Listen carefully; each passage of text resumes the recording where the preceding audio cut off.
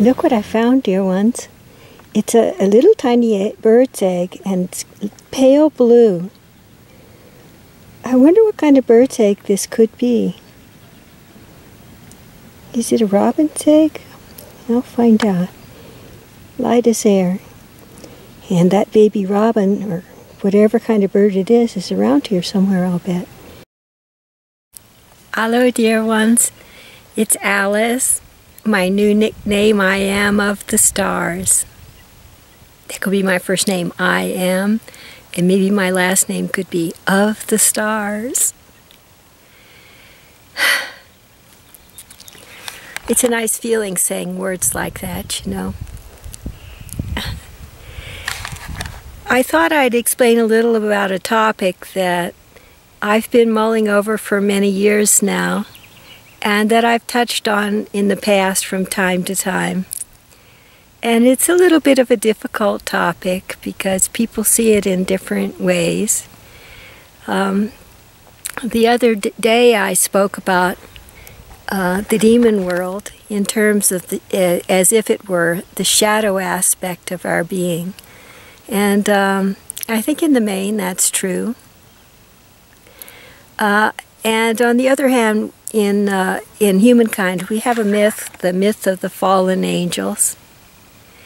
And um, I'd like to, and I, I spoke in, in a previous blog about that as something that is much more rare here on earth than the shadow side of our own um, soul that we're reconciling and bringing into the light right now. So uh, today, instead of talking about the shadow side of our own soul, I thought I'd talk a little about the fallen angels and just some pull together some strands of information that I have on that topic. And I'm not promising you that I will be 100% accurate on this. I'm just offering the beginning of a direction of a, like an investigation or inquiry into this. And uh, you can probably find out quite a bit in your Bible as well, because I found all kinds of information about Satan in the Bible, and I think I posted that in a prior blog, the qualities of, of Satan. Yeah. And um, so, talking a little bit about what in the Christian Bible is termed Satan, or in some uh, myths is called the fallen angels, all right? Not so much from their point of view, but from our point of view and how, how we might um, assert ourselves in relation to them. so you can probably tell I'm not totally looking forward to talking about it. so, it says in the book of Ra, the Law of One, it mentions in there two beings. Uh, you know, Venus ascended, oh, a long time ago, long before the fall of Earth, which happened about 120,000 years ago. Before the fall of Earth to a lower dimension, from the beautiful star that uh, the energy that she had to the lower energy of the third and fourth dimension. Uh, long, long before that, I forget, was it billions of years, a long time before that, was the ascension of the planet Venus. And the inhabitants, according to the law of one, the inhabitants of that planet, they learned their soul lessons through through love, and uh, so they perfected their souls learning through love, and um, and but however, and so it, it, was what you would call the um, the beautiful pink or um, emerald energy of the heart that they perfected right? And the ascension happened over there for for the people on venus the beings on venus. And uh, they had what they call a pretty good harvest. So um, for them that meant that some relatively small percentage of those people there ascended. And there were quite a few who did not. And um, so those souls remained for further per perfection. And um, uh, in addition, on that world were two beings who perfected their um, perfected their understanding of their souls through uh, through the the willpower, through the center of control, and the, through the color orange. Okay, so these two beings. Um, reading between the lines, I think that they began a religious war uh, on Venus that ended the uh, lives of the of the people there who had not ascended. Now, what happened then to those souls? I'm not sure because souls flock and go in flocks from one situation to the next learning situation. They may have come to Earth, and those two orange souls may have also come to Earth. So here on Earth, there are so so so much later. There's so many different souls, different kinds of souls are here, and so I'd like to just concentrate a little um, on what you might call the orange energy here today, which is clearing in batches and droves and massive amounts from Earth right now. Uh, in the early days, uh, of my understanding of the feeling of the ascension. About 17 years ago, uh, I could sense uh, the beings of the Satan world um, operating, uh, uh, especially in the large cities. And I could sometimes see them with clear vision. And the vision that I had was like very dark and fiery red either very black and or very dark brown and fiery red. And the feeling that I got from them was very much the turning of the of the chakras to hatred and to distortion of energy and like that. And so they were pretty um, and they were very doubled up on people. Like there could be nine working on one person's soul field in one night. So uh, and so they had some concerns at that time about what would become of them on ascension. Now, uh, I have no idea, you know, all this is in the hands of God.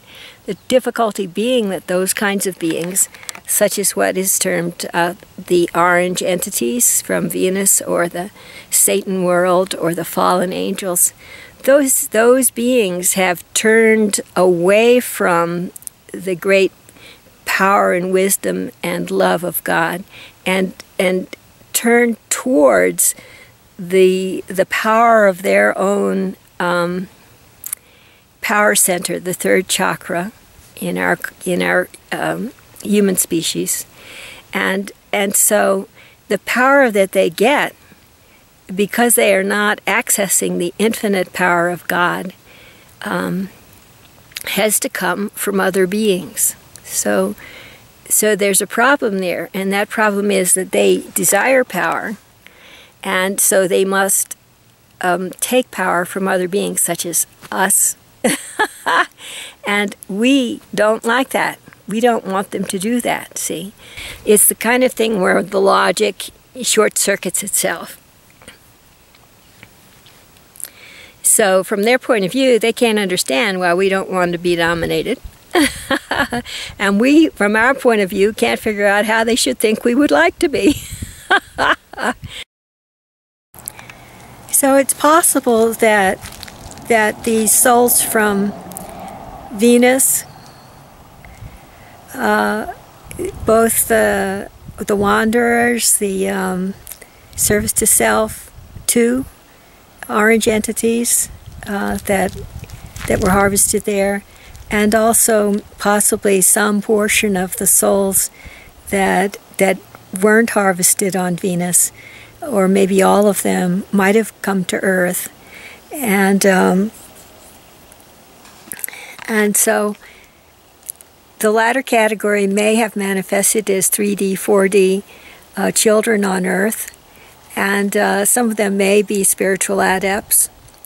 Uh, possibly also the, the two orange entities from Venus could be considered spiritual adepts. And uh, they are what, um, if that's true, uh, they they are what are manifesting on the astral plane right now. I don't know what became of the demon realm, um, the Satan world, and all that stuff. It just doesn't seem to be there anymore. No, what's manifesting right now is really very different. Um, they, they look like people. They're in the shape of people, but uh, they uh, as to whether they are like the astral form of traveling astral form of people on earth or whether they are people in astral form who exist in astral form i don't know enough about it to be able to say now years ago when i was driving across um, across the eastern reaches of california i encountered um, a whole flock of beings who called themselves En-Ra. Uh, they were fourth dimensional beings, and they their beingness was was wisdom, was the effort that they had, more like Alpha Centauri. Their beings, their beingness was wisdom. They were uh, what is called in Ra, um, the Book of Ra. Um, is it a a mental, emotional, mental, emotional, spiritual complex or spiritual, emotional, mental complex, uh, meaning that uh, of uh, or gathering of, of, of those sorts of beings uh, into a specific like um, flocking of souls, or uh, it's hard to explain in the fourth dimension. Um, but apparently there are like vast batches of souls that flock together in the fourth dimension. Some, uh, some like these En Ra En or En-Ra, um, are, are are really very interesting entities. They they just, if you could imagine the Theosophical Society, uh, suddenly segueing, segueing into the fourth dimension and and having you know, billion extra years of soul learning experience, then they might become something like Ra-En. Um, Ra-En is just uh, a very copacetic utopian group, you know. Compared now, let's compare them to these these folks that are that are hanging out in the fourth, mid fourth, mid fourth dimension, the mid astral plane right now. They seem like people they're shaped like people. They're eminently logical, highly persuasive, diplomatic, intent on their own purpose. And that purpose is to, to dominate and control humans. Okay? So for them, and here we are, fledglings, fledglings of God, coming into the flowering open awareness of the, the, the glory of God, right? The wonders of aligning with God. And, and we're full of trepidation. It's as if we were in an egg, a little sparrow's egg that is, and we've been trying to get out. We've been pecking. You know how little birds do? They peck to get out of the egg you know, first their nose and like their beak comes out, and, and then they stop. They're tired in, there. and they start up again. And finally, by hook or by crook, they get themselves out of the egg and they're like really exhausted. So they just lie there for a minute or two, breathing rapidly, you know. It's, it makes you want to pick them up and take care of them. It's so, so cute. We're like that right now.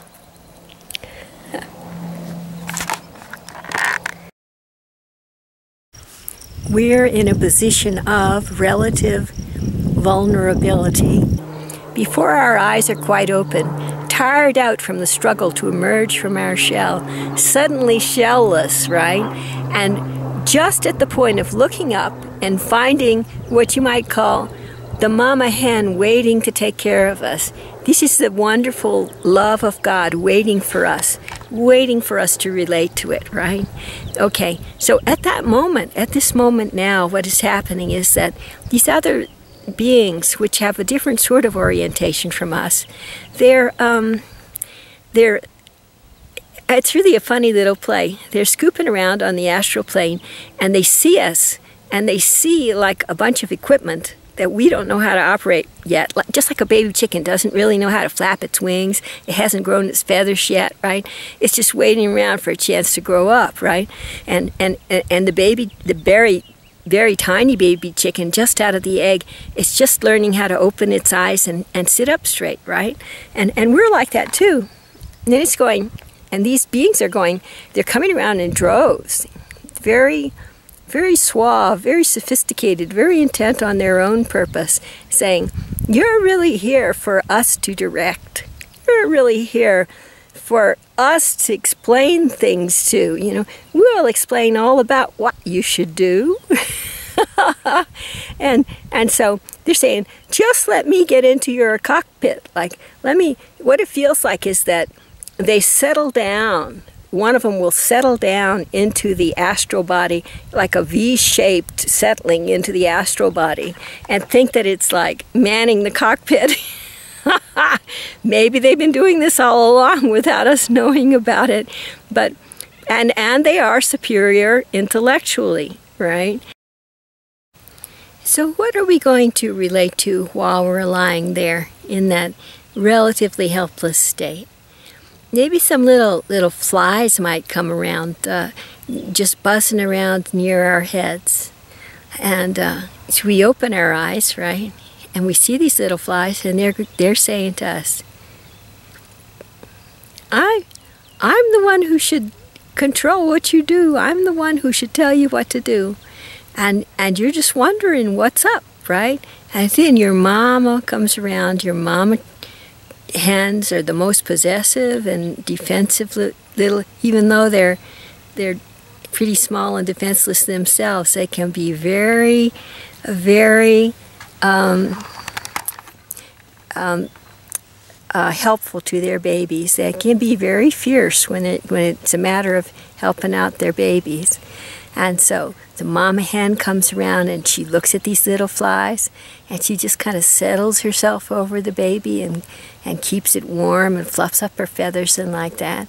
And then the baby chicken knows it's not those little flies that are the ones. It's the mama hen. It's all the love of, of, of the mother. So, so now I'd like to say to you, if you experience this, all you have to say is I align my mind and heart and will with that of God. And then they have to leave. You can say remove the or disengage the the group um, program sub-program, and then they have to leave. All right, because what has happened is as as Earth has descended into this third and fourth dimension, our uh, our um, etheric nets have like taken on some distortions, some some like fold infoldings and like wrinkles and convolutions that have allowed them to to make adjustments in our hologrammatic programming that accommodates their energy. All right. So in that and and uh, and we are all unaware of that. Okay. So um, I, I say the first thing to know is to relate to one's own power uh, power of God, the power of God within us. Uh, now, they might put up quite a fuss about how this leaves them homeless, but um, I say, and uh, they might also say that it's for our own good that they're there. Okay? I could go on for a long time about that notion that something that hurts us is for our own good, but I won't do that today. I would only say that if it hurts us, it is never for our own good. What opens our heart and heals our, our soul wounding, that is for our own good. Okay? So, so now, when our hearts are open, we may say to ourselves, what will become of these beings? That's not really up to us. That is up to God. Okay? Their soul evolution is, is proceeding so differently from ours that the answers lie with God and not with us.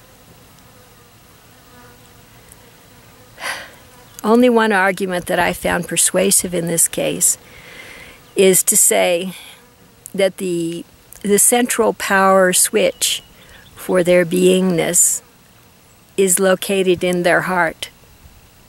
And this is true. Okay.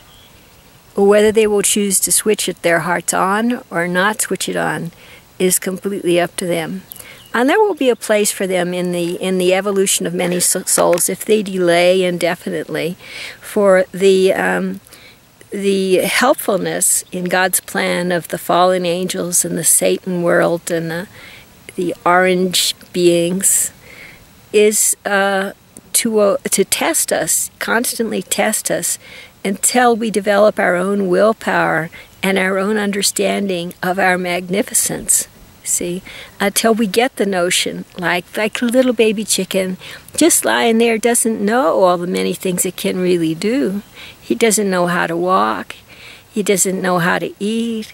It doesn't know it has a mom. It doesn't know it can even open its eyes. It's just lying there, kind of really exhausted, sound just just breathing deeply and glad that it's out of the shell, you know. And that's us. We have a lot to learn. and so, when they come around, what they're really teaching us is whether we will relate to the God in us or whether we will relate to our own like mental minds, our own ego, and our own willpower. Which is the thing that we will choose? Which is the thing that will that will open up the true greatness in our souls? Long-winded. Sorry about that. You all take care. Lots of love.